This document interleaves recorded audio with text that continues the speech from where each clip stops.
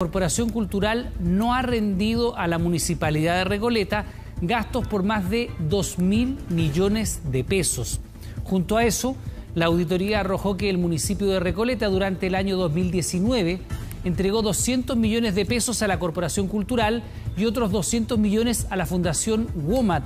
Sin embargo, la rendición de gastos todavía no se ha realizado y por eso se instruyó la apertura de un sumario y el reparo de los montos involucrados.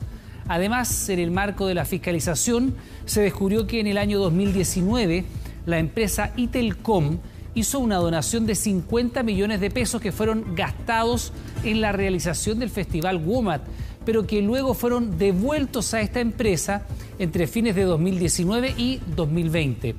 El municipio no acreditó a qué ítem del presupuesto fueron imputados esos cargos y además se detectó que 30 millones fueron depositados en una cuenta corriente de Itelecom.